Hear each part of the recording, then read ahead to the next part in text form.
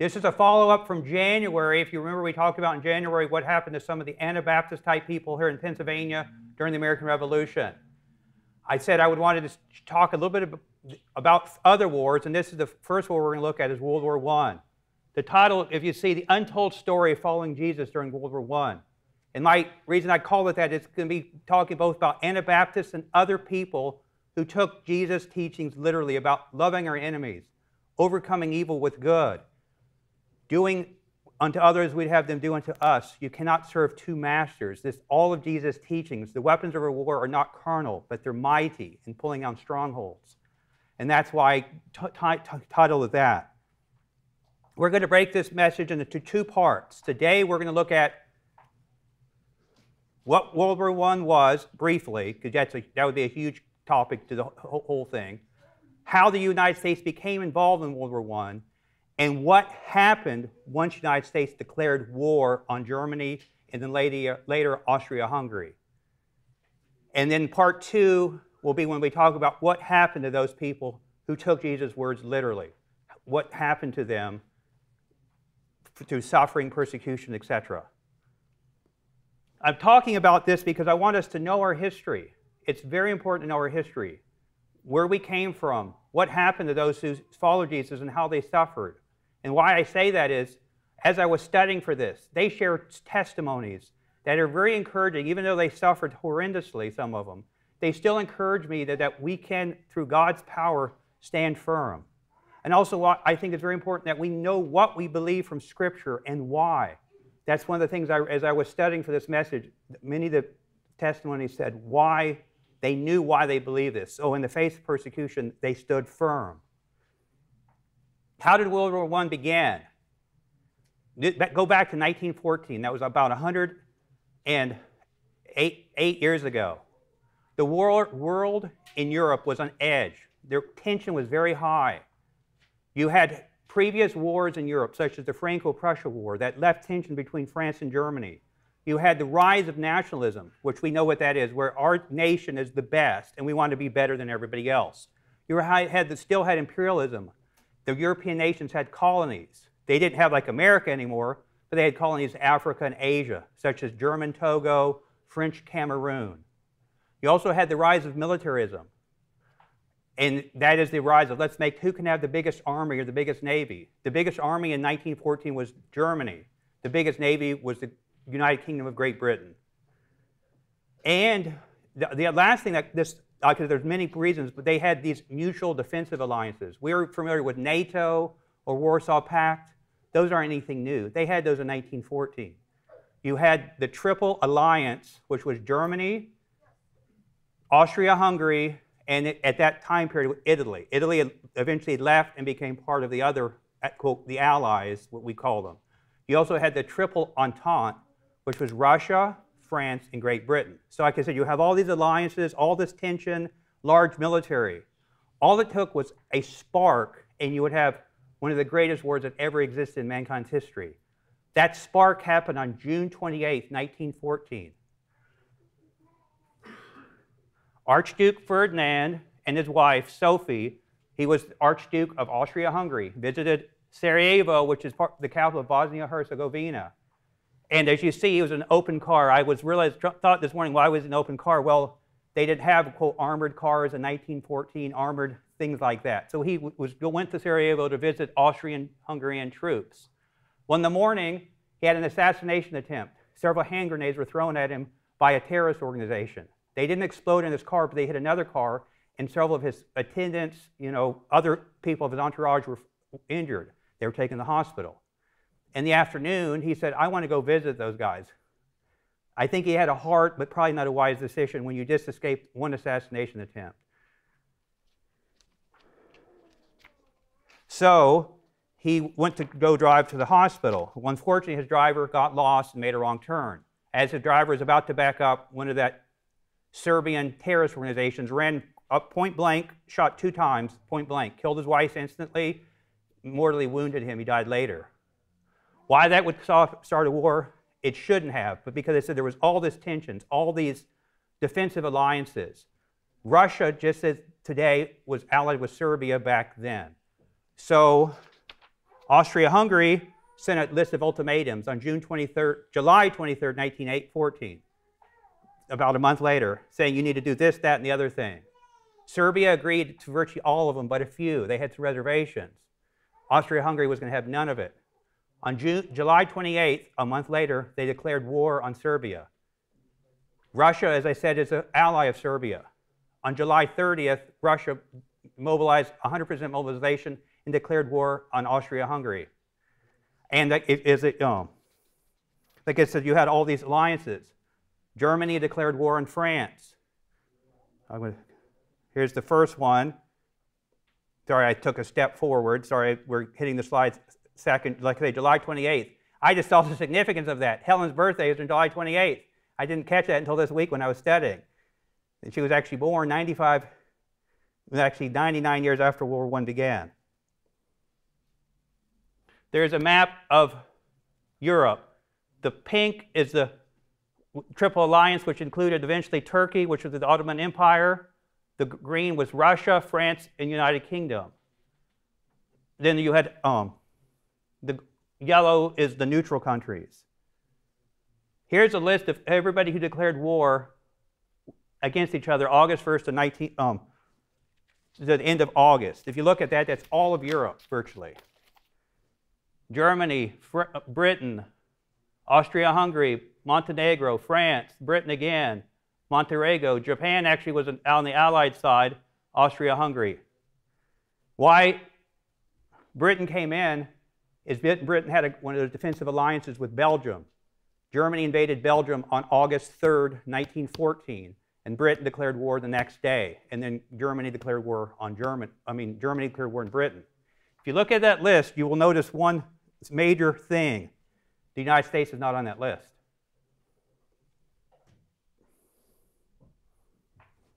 President Wilson, President Woodrow Wilson, on August 4th and again on August 19th, declared that the United States is neutral. It's not getting involved. Here's a statement he said before the United States Senate. The United States must be neutral in fact as well as in name during these days that are the tri-min soul. He, like I said, he purposely said we were not going to get involved. Here was a popular song written about President Wilson at this time period. We stand for peace while others war. Song, popular song written in 1914. And that was one of the things that President Wilson did is try to, quote, keep the United States neutral. We're going to skip a little bit back to what happened in Europe. We're not going to do a very detailed thing in Europe. We're going to focus mostly on the United States, but I want to just keep you kind of posted how Europe is, this war is developing. Back in 1905, Schlieffen, he was a German general, had developed a plan how Germany could conquer France. He said, if we ever went to war, we don't want to be fighting two fronts. We don't want to fight France and Russia on France on the west and Russia on the east. So this plan was actually implemented in 1914, beginning in August. They, he did, they, Germany quickly sent the best of their ability, their, their armies to try to encircle and get capture Paris and then trap the French armies down here towards the Swiss Alps. It almost worked.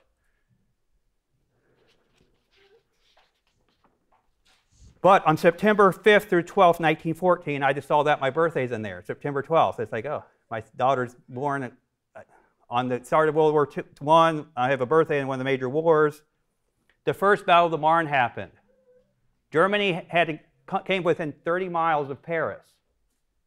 And the French, like they were looping around trying to get it. And the British and the French pushed them back it actually said they had taxi cabs carrying troops from Paris up to the front lines, hundreds of taxi cabs carrying the troops.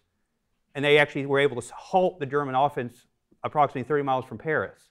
Well, this led to what we all, if we think of what you see pictures of World War I, those trenches, they started getting made in September 1914 from the English Channel all the way to the Swiss Alps.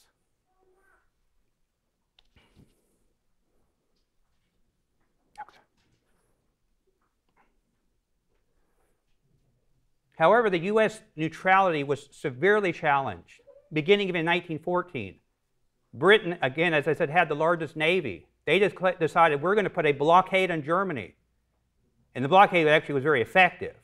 But this blockade, if you know what a blockade is, they used their warships to prevent other ships from getting there. They made a huge list of contraband that was not allowed to go to Germany and Austria-Hungary. And that eventually included food. If you study, they actually ended up starving the Germans to death.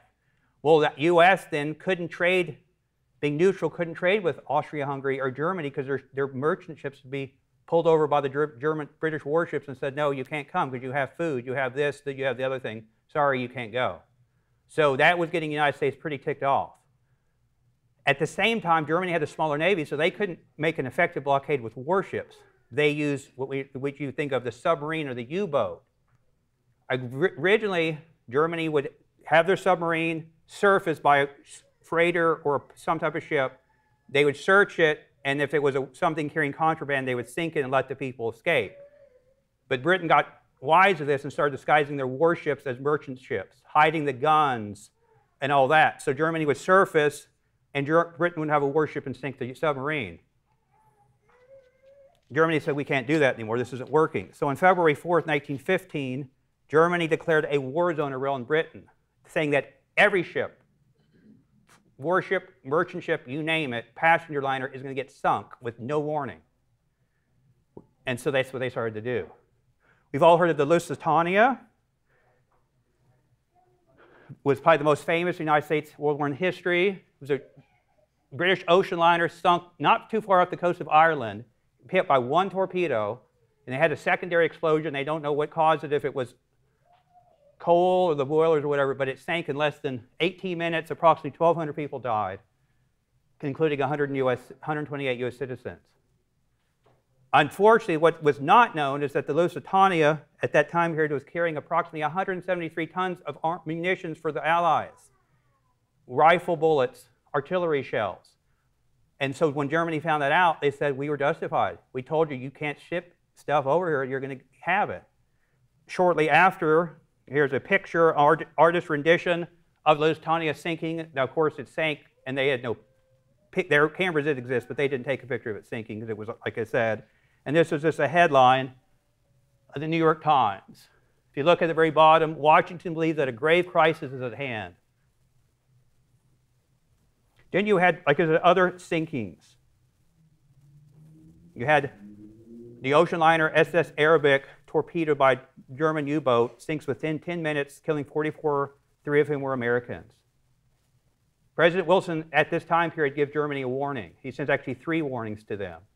And the very last, it says, it is such a deplorable situation should arise. The Imperial German government can readily appreciate that the government of the United States would be constrained to hold the government of Germany to a strict accountability to take and safeguard American lives and property. Like I said, the U.S. started to get, it's like, you need to stop sinking these ships. And I can say they shipped three warning letters to them. show you two more pics, pictures of some songs in 1915. Remember, President Wilson in 1914 said U.S. is neutral. This is now 1915. Two very popular songs that actually emphasize this. This first one, I didn't raise my boy to be a soldier. See the mother crying down there in the, the bottom? This actually was a very popular song in 1915. It sold over 700,000 copies. That's pretty amazing that they actually were saying we, didn't, we don't want to go to war. Here's a sim similar one. Don't take my darling boy away. This is 1915 in the United States. Said, two very popular songs that, yes, there was a very big message we don't want to be involved in your war. Skipping to 1916, we're just going to talk about one of the battles, one major battle. That most of this is not about the United States, but I think you just should see how horrible World War I was, how all war is.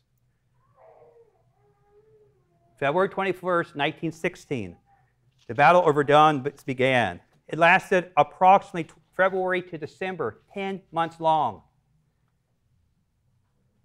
It was the longest battle of World War I.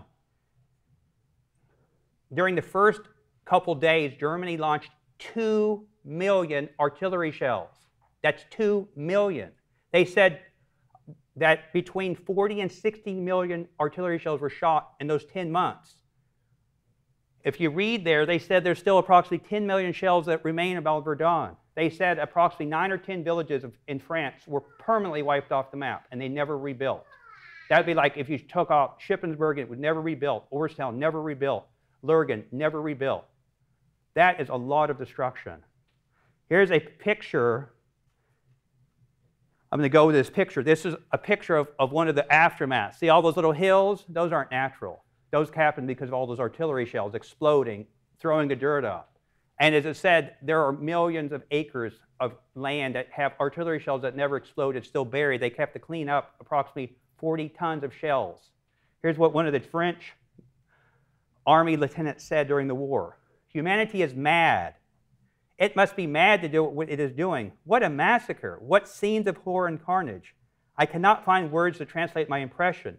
Hell cannot be so terrible. Men are mad. I just then I think about that. Approximately 700,000 casualties, millions of artillery shells. He is correct. Men are mad and are not doing the following Jesus. We're going to go back just a little bit, couple months. You remember when we were talking about the Lusitania and the Arabic? Great President Wilson sent those letters to Germany. And Germany agreed, starting in September 1st, 1915, to slowly halt unrestricted submarine warfare, which culminated in them signing a pledge called the Sussex Pledge, May 16, 1916, that they're going to stop the indiscriminate sinking of non military ships. According to the pledge, merchant ships would be searched and sunk only if they were to be found to carry contraband materials Furthermore, no ship would be sunk before safe passage had been provided for the ship's crew and its passengers. Meantime, in the United States, what was happening in 1916? We had a presidential election, just like we had in 2016. It was President Woodrow Wilson running for re-election. His campaign, his main campaign slogan is, "He kept us out of the war." The Republican candidate was named Charles Evan Hughes.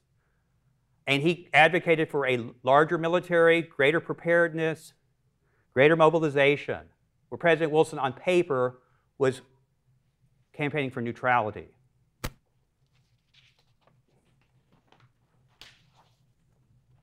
President Wilson barely won re-election. If you see, 277 to 254 electoral college vote, and he had approximately 49, a little over 49% of the, of the um, popular vote but President Wilson was reelected.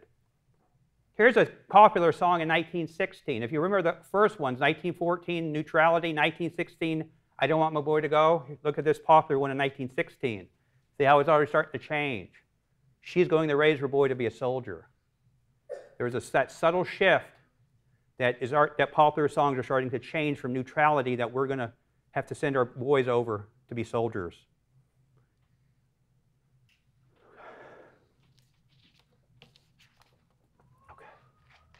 We're going to look at two pictures for a second, just as, as we're talking about this. Two different pictures of two of the world leaders. And um, here's a picture of Kaiser Wilhelm II of Germany. That's the supreme leader of Germany, who made the, had the final ultimate authority. And here's a picture of Woodrow Wilson, who had like, the, some of the final authority in the United States.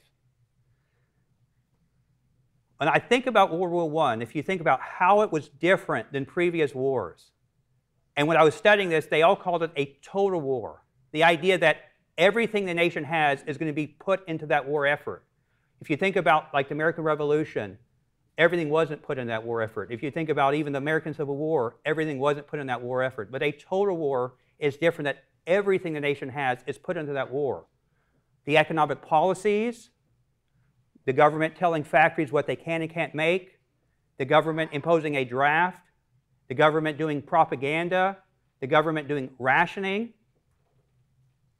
The government, yes, because it was this overall, the government is telling you that wanting the whole populace to be involved. Second, that a total war had, that I, when I was studying that, if you really think about it, a total war includes there is no such thing as a sacred target. In the previous wars, like the American Revolution and the American Civil War, very, very few civilians were targeted. If you look at this total war, they went after everything. Entire villages wiped off the map. Germany, unrestricted submarine warfare, sinking some true passenger ships that didn't have armament or munitions. Like I said, they, everybody was a fair game. And that's completely different. than before. Which then brings us to the last thing what made World War I more worse, I'd say, than the previous wars. It had these new and more improved weapons. Just looking at a few of them. We had the invention of the tank in 1916. Pictures of barbed wire. They said in Flanders, part of France alone, there was approximately a million miles of barbed wire. That is a lot of barbed wire. It can go around the earth approximately 40 times. And that's in the Flanders part of France. It's not all of France. There's a picture of artillery. They, they said the statistics show approximately 60 to 70% of the casualties in World War I were based on artillery shells, either exploding and killing you instantaneously or exploding and explodes and the little pieces of metal go everywhere so you get metal into you, like a shotgun shell. The machine gun. Before World War, I, World War I, there was no such thing as a machine gun. It was getting developed at that time period. You had rifles, they had a couple cartridges. You had a six shooter, a couple cartridges. But you had a machine gun that could shoot thousands as long as it had ammunition. You had use of poisonous gas in World War I. It was not used very much afterwards, thankfully. Thankfully, people did do something right, but it was used in World War I. Here's a picture of a trench. They said there was approximately 470 miles of these trenches from the English Channel to, to the Swiss Alps. There were some obviously breaks in it. You had airplanes were used in World War I. This is a picture of actually the Red Baron's airplane. He was a real person. Airplanes were used for bombing raids, spying, dropping supplies, things like that. Here's a picture of a submarine or U-boat, because they were used extensively by Germany. Here's a Zeppelin. We would call it a blimp, but it's a German Zeppelin. They were used again as warships, dropping bombs and things like that, supplies, reconnaissance. And this is actually a picture of the USS Texas, which we, I thought was only in World War II, but it was actually um, made in World War I. It's the last remaining World War I battleship that was then converted into World War II.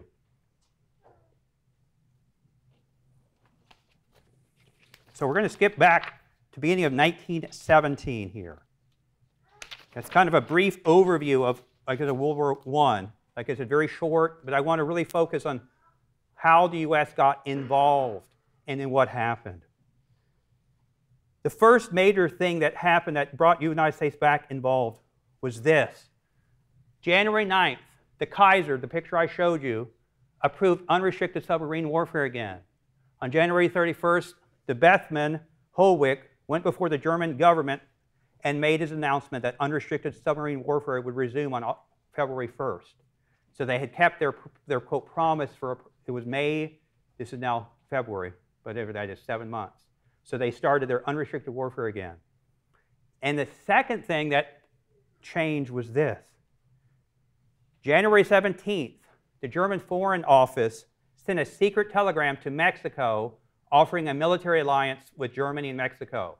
This telegram was intercepted by British spies and decoded and given to the, the U.S. government, who realized, this, realized that it was true.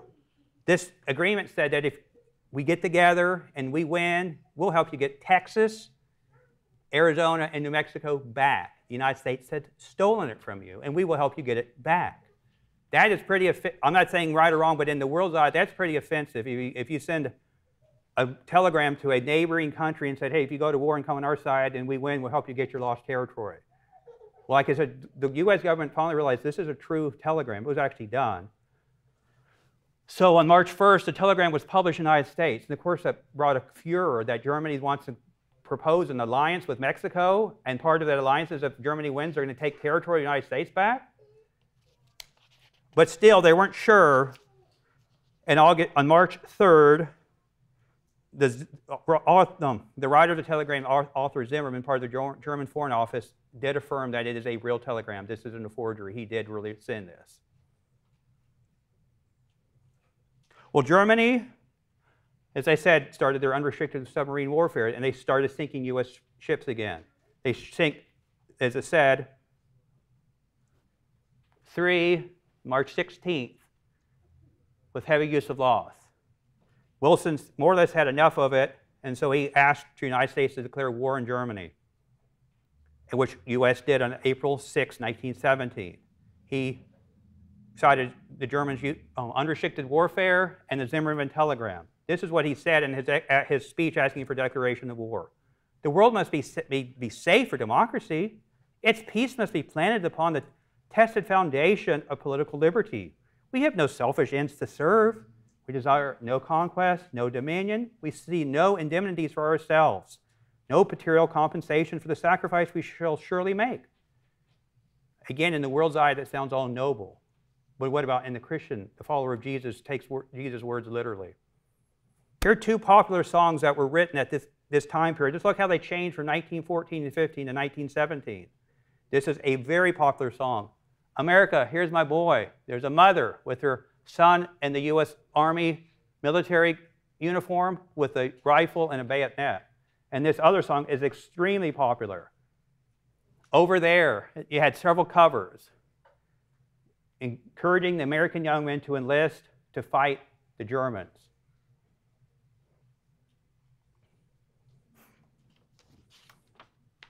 Okay, we're going to now switch gears a little bit and talk about what happened here. This is how the U.S. Geicas had got involved, if you think about that. The unrestricted submarine warfare, this public opinion slowly turning, and then Wilson and the quote, political people declaring war. But that's not where the U.S. stopped.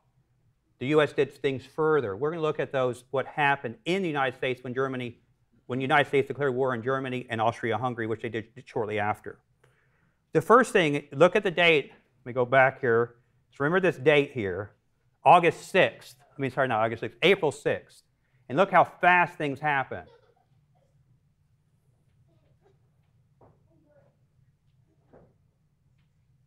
It says April 13th. President Wilson establishes the Committee on Public Safety, not safety, public information called the CPI Committee through executive order. This was the first government propaganda agency that the U.S. had. Uh, propaganda in the previous wars, like the American Revolution, were done by like the revolutionaries. This is an official government agency doing propaganda. Within a, two or three days afterwards, Oh, I won't do that. I'll do this next thing and I'll come back. Sorry. This is what President Wilson said when he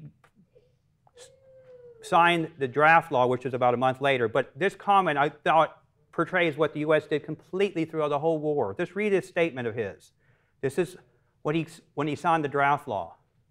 It's not an army that we must shape and train for war. It is a nation. To this end, our people must draw close in one compact front against a common foe. But this cannot be if each man pursues a private purpose. All must pursue one purpose. The nation needs all men, but it needs each man not in the field that will most pleasure him, but the endeavor that will best serve the common good. That sounds all, quote, fine and dandy. But reality, it's not fine and dandy. It's more or less saying everybody has to be involved. If you're not involved, if you're like a person who's trying to follow Jesus seriously, you're not going to want to be involved. But President Wilson's statement has no, no room for you. If you really take that, he has no room for someone having a different opinion. He wants everybody to be on the same page. I found this on Friday, and I was like, that's what I've been looking for. Just to help galvanize what everything is trying to do.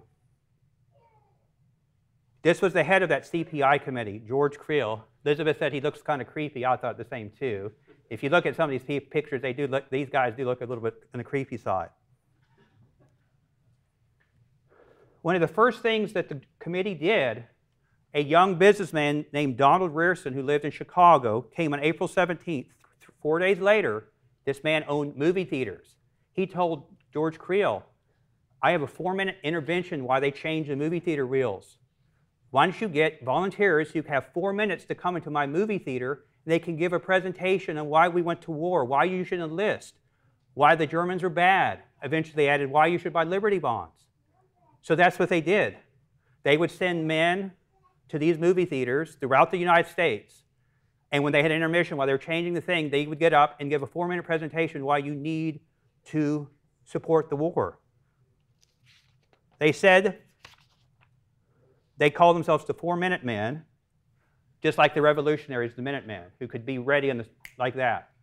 They gave a four minute presentation, and they, like I said, said all that things.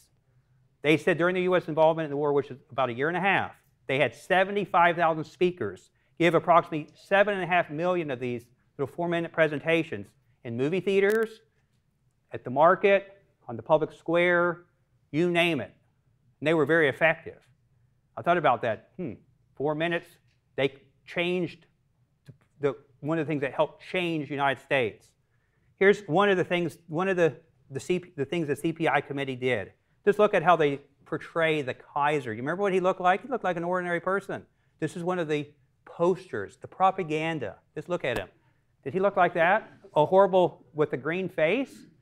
Read what it says Defeat the Kaiser and his U boats. Victory depends on which fails first, food or frightfulness. Eat less wheat. Again, a total war, giving us, telling us we need a ration. But if you think about that, they are purposely making the Germans look like demons, that they're not really humans. It's fine what you know, it's fine to go take somebody out. They're not humans. But that's not correct. They are, were humans just like we are. Let's skip to the next thing that happened. April 16th, they declared war on April 6th. Ten days later, Congress authorizes H.R. 2762, the Treasury, to meet expenditures authorized for national security or the war to borrow $5 billion. That's 1917 $5 billion. That's not 2022, $5 billion. That is a lot of money. So they had four of these Liberty Bond issues. And I, will just define a Liberty Bond because people have heard of government savings bonds. A Liberty Bond was specifically designed to finance a war. They had them in World War I and they had them in World War II. And they said by the end of the war, approximately 20 million Americans had purchased more than $21 billion of Liberty Bonds which financed approximately two-thirds of World War I. The other third was, per, was done by tax revenue. So they had four of these bonds issues. April 16th, October 1st, April 5th, September 28th. They were going to have a fifth, but it ended up becoming the victory bonds because it was issued after the war ended. Which Let me just show you two of the posters, the propaganda posters that they made. There was many of them. Most of them aren't very nice. What they did like I said, dehumanizing the Germans. Here's just two of them. Look at that one, making him look like a less than human, with bloodthirsty blood on his hands, blood on his bayonet. It says, beat back the Hun. That's what they called the Germans, the Hun, with liberty bonds. Just like you say, dehumanizing these people. Like if they had millions of these posters out there throughout the United States. Like if there's so much, some that are much worse than this one. Here's another one. If you can enlist, invest, buy a Liberty bond, defend your country with your dollars. Look at what he has. He has a shield and a sword. Both have like American flags, and he's fighting the demons of war and starvation. And of course, the demons of war and starvation are the Germans, not the Americans. We're now going to skip to the draft law. We've already read that little statement from President Wilson, but we're going to skip there next, because that's one of the next things that happens. The war was declared April 6th. We're going now to May 18th, 1917. The draft law was enacted and signed by President Wilson May 18th. This individual, we will, when we do our next message, we will talk more about him, but he was the Secretary of War, Baker Newton. He helped implement the draft law, he was the head of the Army and the Navy, things like that. Here's one of the things the draft law said. We're just going to look at some of the draft law. And thankfully, I actually was able to find primary source documents for the draft law, the Liberty bonds, these last things. I did a lot of studying to find these, but I was very pleased I could find some primary source, the actual law, not copying somebody's quote. Here's one of the things it said. World War I Selective Service Act, that all male, male, persons between the ages of 21 and 30, both inclusive, shall be subject to registration in accordance with regulations to be prescribed by the President.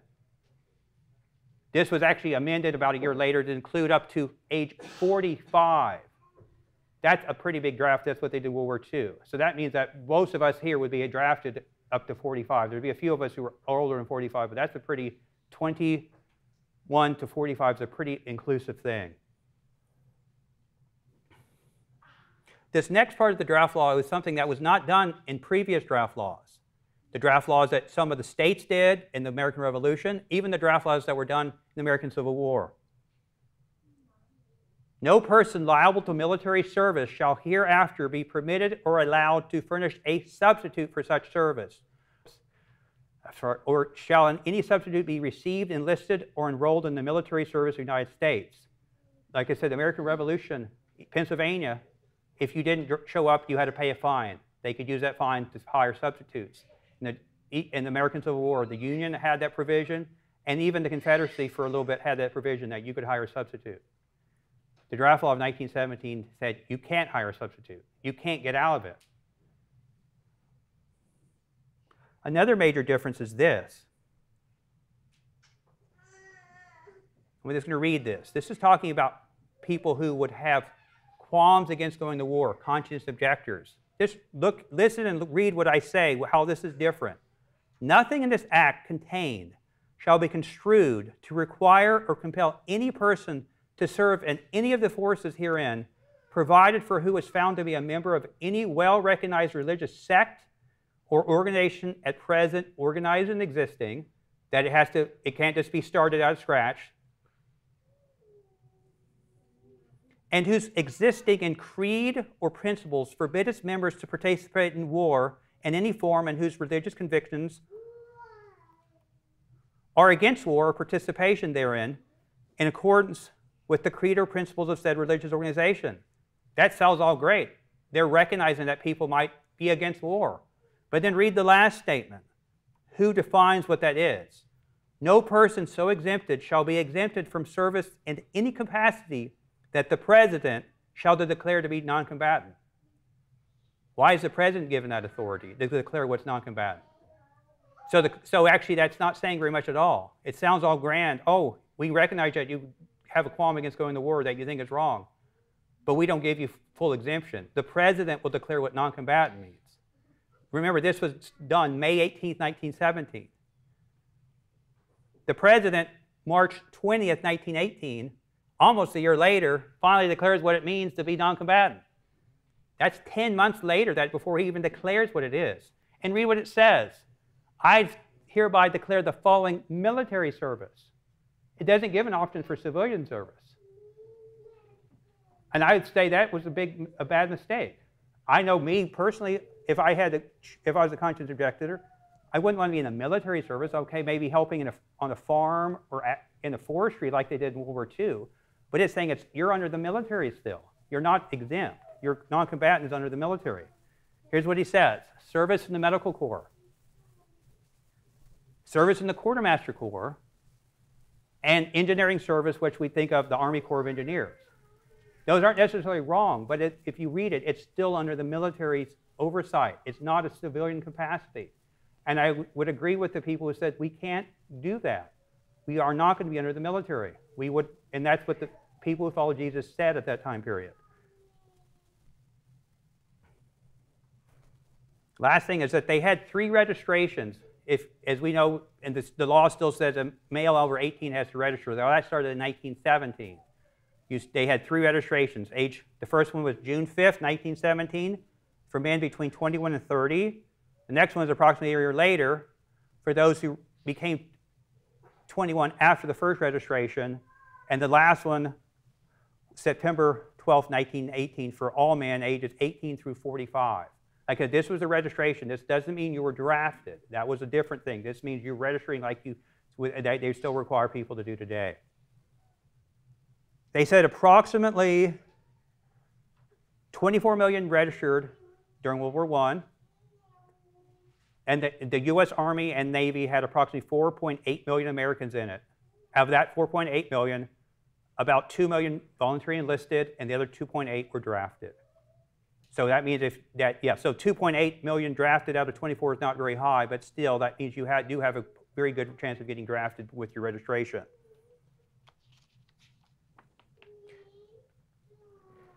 Okay, the next one we're going to go to, these laws was passed in June 1917 and an amendment in 1918. Oh, I thought I'd move that. Well, didn't I? I should have moved it, but I will skip over these next three and we'll go to this next laws. Sorry about that. I should have moved it. I thought I had moved it, but I didn't. We'll go to this and we'll come back to that one. They were called the Espionage and Sedition Acts of 1917 through 18 because the original act was June 15th, and then they had the amendment added in May 16th. Espionage, I think we all know what that is the idea of spying, trying to find out military, government secrets, like where arms depots are, where factories that make munitions. And that makes sense, okay? They would say that's against the law. Sedition, that's a little bit not as common. And that means just the idea that you have maybe a conspiracy to incite rebellion or revolution or violence. So they had these laws against espionage and sedition. That sounds all maybe fine and great. Oh, of course they'd have to do that. This is war. But read what these laws say, and as I make, and listen to some of my comments. This one was one of the original one, provisions of the 1917 and repeated in 1918.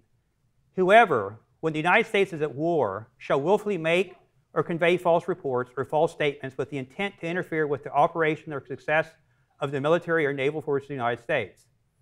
Makes sense? Let's go to the uh, next one. Whoever shall obstruct the sale of the United States bonds or securities, that's considered sedition.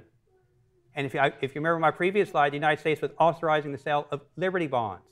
So that means if you speak out against buying a Liberty bond, you are, have violated the Sedition Act and you can be arrested for sedition. That's a pretty major thing.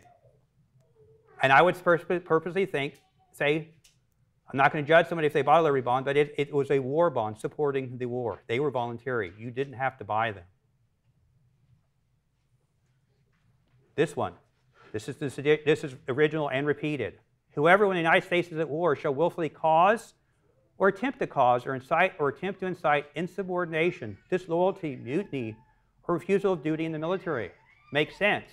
What if you're a conscious objector? What if you say it's wrong for a Christian to go to war? That's against the law. You can't. It, that you that saying it's wrong for a Christian to go, go to war is against the law according to the Sedition Act. Whosoever, the next one, whoever shall willfully obstruct or attempt to obstruct, obstruct the recruiting enlistment service of the United States, should say United States Army and stuff. Again, what if you're a conscious objector? What if you say it's wrong for a Christian to go to war? You can't do that. This law is saying that is against the law. And this is the last one. Whoever shall willfully utter, print, write, or publish any language intended to incite, provoke, or encourage resistance to the United States. Sounds good. That means you can't write a tract saying it's, go, it's wrong to go to war. Because they will say that is writing an incentive against the United States. And that's what happened. You can't speak against, speak against the war. You can't publish tracts against going to war. Because they said that's sedition. You're encouraging resistance to the United States. And like I said, it didn't, hap- didn't happen on the grand scale, but it did happen. I'm going to go back to those slides I skipped. I sorry, I had them in the wrong order. What happens when you get. There we go. Sorry about that.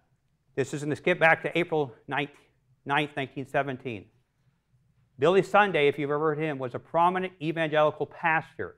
He was one of the ones who pushed for prohibition that when the United States actually followed and, quote, forbade the sale of alcohol for approximately 12 years. However, he was a very large pro war monger, very negative on Germany. Here's what it said New York Times headline 40,000 cheer for war and religion mixed by Sunday, being Billy Sunday. Sermons brought up to date to sink the Kaiser with the devil as an enemy alien. Equating the Kaiser with the devil. Like this was a prominent evangelist pastor. Here's a picture of what, what he looks like. I tell you, it's Bill against Woodrow, Germany against America, hell against heaven. Pretty strong words. And these days, one either is a patriot or a traitor in the cause of Jesus Christ and the cause of his country, implying that the cause of Jesus and the cause of his country are one and the same. Read this last quote. We have no use for the shirker no use for the man between 21 and 31 who did not register. As the fellows who knock registration or conscription, which is draft, or buying war bonds, if I had my way, I would line them up against the wall and shoot them like any other traitor. That's pretty strong language, saying that conscience objectors like us would be shot because we're traitors, that we don't think it's right to go to war. Like I said, he was a prominent evangelical pastor, And I'm pretty sure the other evangelical churches were doing the same thing because promoting why war is right. So we're, as we finish up today's lesson, go back to one of those popular songs. I'm sorry I got that of order. Whoops, I missed one slide. This is the punishment for the Espionage and Sedition Act. You should punish by a fine of not more than $10,000. $10,000 today is still a lot of money. This is 1918. That's worth approximately $196,000 fine. You know, that's a pretty big fine, or 20 years in jail. Here's a popular song that was in 1918. Read, look at it. It says, You're your mama's little daddy now. Shows a picture of the mother with her son. And, then, and Jason helped me figure out how to zoom in. Look at the picture showing those army troops who probably died going to heaven, which was a popular teaching both the United States and, and other quote, Christian countries that if you go to war on behalf of your country, you're doing a good thing, and if you die, you're going to go to heaven. Thankfully, the war concluded on November 11, 1918, an armistice that was signed. It stopped November, being the 11th month, at 11 a.m. in the morning, which is 11 a.m. Paris time. The war claimed, as I was studying, approximately 40 million casualties. There were 20 million deaths approximately and 21 million wounded. Of the deaths, they said there's approximately 20 million. You had about 9.5 to 10 million military and 9.5 to 10 million civilian. That is a lot of people, 20 million people dying for a war. I hope I've accomplished what I set out to do this morning, giving you a brief overview of the war in Europe, how the United States became involved in the war, and what happened in the United States once war was declared on Germany and later Austria-Hungary. In my next message, which will be sometime this fall, I hope to explore more in detail of what happened to those people who took Jesus' words literally. Read some of their testimonies, some of the things that happened to them, something that we can learn and being challenged and encouraged by.